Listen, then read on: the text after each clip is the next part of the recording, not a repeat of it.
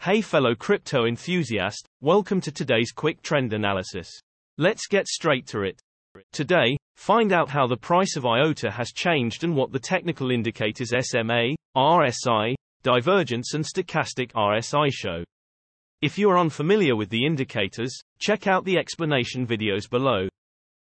Taking a look at the hourly time frame for IOTA, it can be seen that the price went down with around 2.2% in the last 24 hours, with a current price of 17.3 cents. The fact that the sellers are taking over can be deduced because the volume was high and the move was strong. Looking at the hourly simple moving averages, the current price is above all simple moving averages for this time interval, which looks bullish and it is to watch if the closest SMA, the 50 SMA could hold support or the price will break it to the downside below the current price of around 17.2 cents.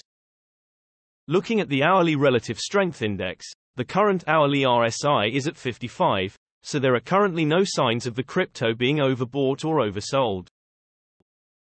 On the lookout for divergences in the hourly time frame, owing to the bearish divergence, the price has already gone down.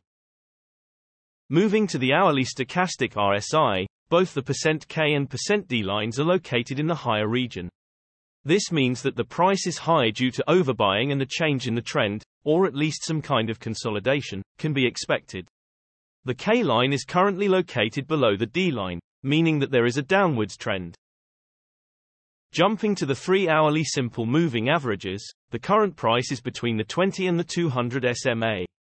If the price bounces off the 20 SMA which is currently at 17.1 cents it could be seen as a support and the 200 SMA that is at 17.6 cents could be seen as a resistance to the upside. Breaking either way signals a possible further move to the corresponding direction. Important to note is that the price is currently below the 200 SMA, which is can play as a strong resistance.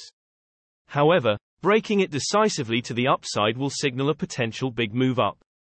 For longer price development, the daily time frame should also be considered as the shorter time frames are not as accurate. Jumping to the 3-hourly relative strength index, the current 3-hourly RSI is at 60, so it doesn't show signs of overbought or oversold conditions at this point.